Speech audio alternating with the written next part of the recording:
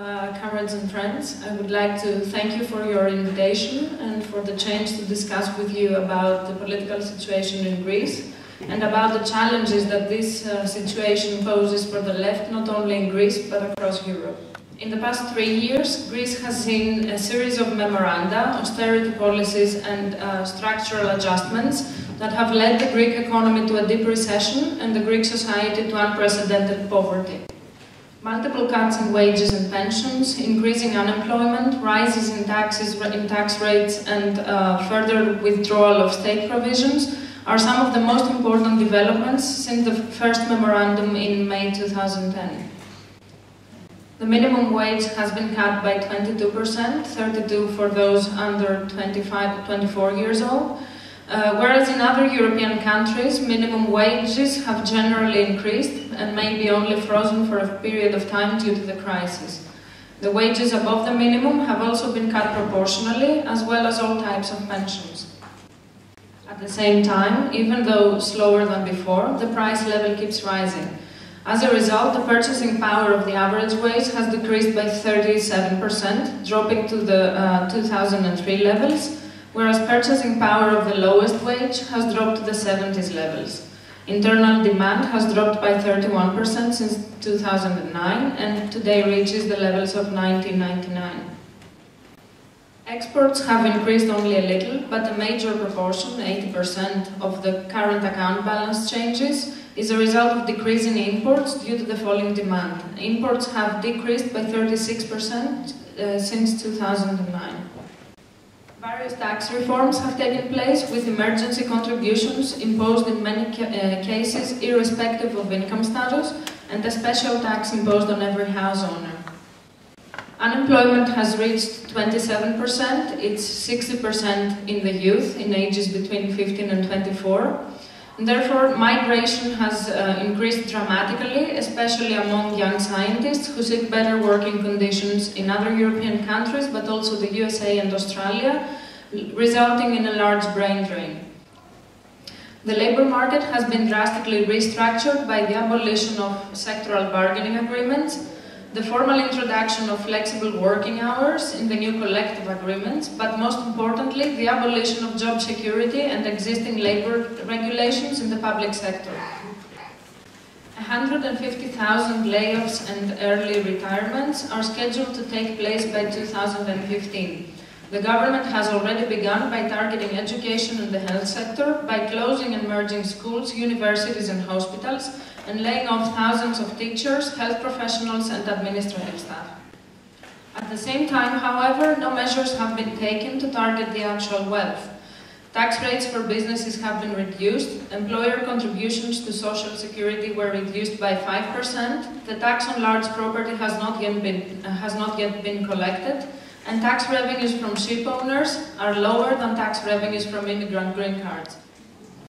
Despite the large extent of cuts in taxes, the debt is still rising, even though the restructuring that took place in February 2012 wrote off uh, more than 50%, uh, and fiscal imbalances still persist, and neither the Greek government nor the European officials deny the need for a new series of austerity measures. At the same time, the government proceeds with a series of privatizations of large extent in energy, water, public infrastructure and the social sectors of health and education, claiming that the revenue could be used to refinance the public debt.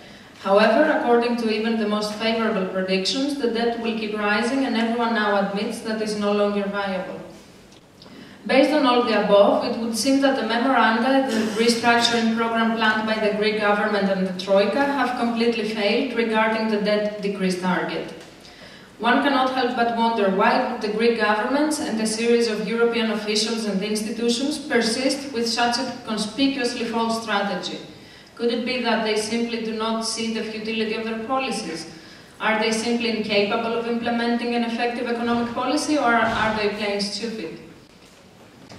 This is the preferred narrative by a series of economists, most of them belonging to the so-called heterodox tradition, who argue that the failure of the memoranda is due to the inability of those producing and implementing them, a matter of wrong choices regarding economic tools and time schedules. They argue for a milder and longer adjustment program that would ease the suffering of the Greek society, but also more likely also blunt the, and the increase in dissatisfaction and the social reaction against the government.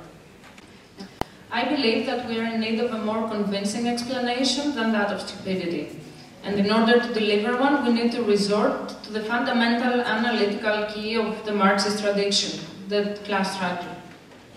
What we argue is that the real aim of the fiscal adjustment programs was not to target the debt and or the fiscal imbalances, but rather to use the debt as a threat and impose in Greece, as, first, as the first of a series of countries to follow, structural reforms on labor that will restore capitalist profitability and improve the accumulation process.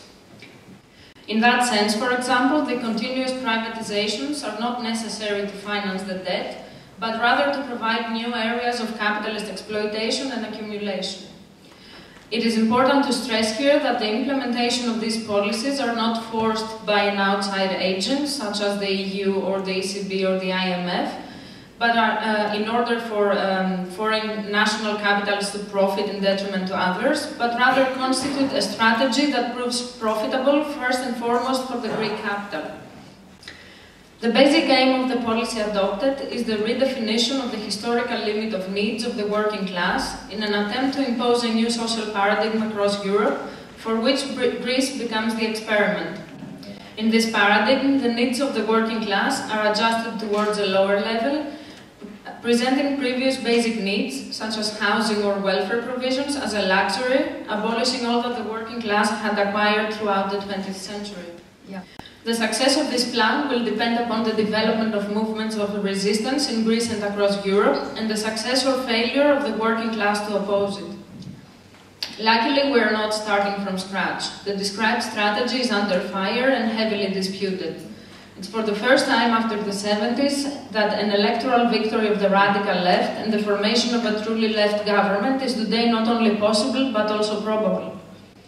This development has not come out of the blue. It is the result of great social unrest during the past three years and of the strengthening of popular and workers' movements in which Syriza had a leading role.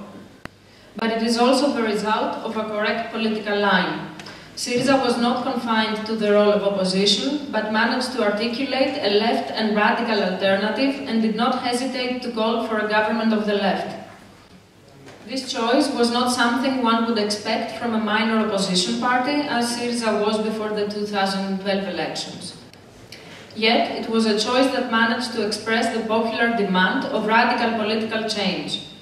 Syriza may not have won the elections, but it has managed to open the path to the overthrow of neoliberalism in Greece. The political change in Greece can be the beginning of a crack in the neoliberal hegemony in Europe.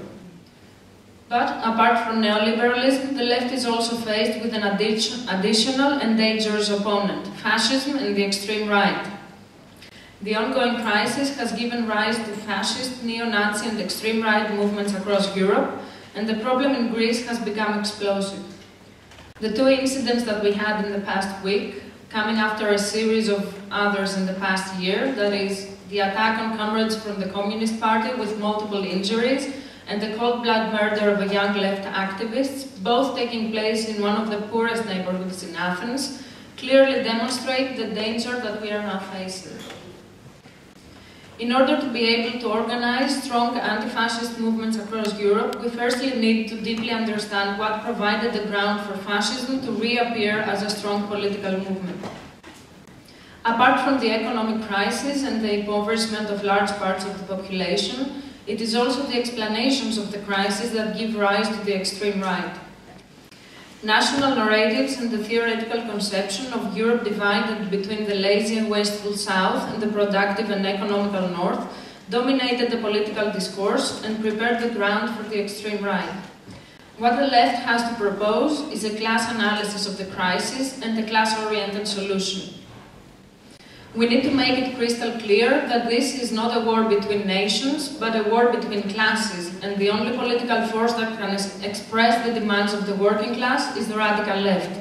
It is today our duty, in Greece, in Finland, and all over Europe, to organize the class struggle of the workers of Europe, irrespective of nationality, color, or religion, against the authoritarian neoliberal regimes and to transform Europe into the Europe of peoples.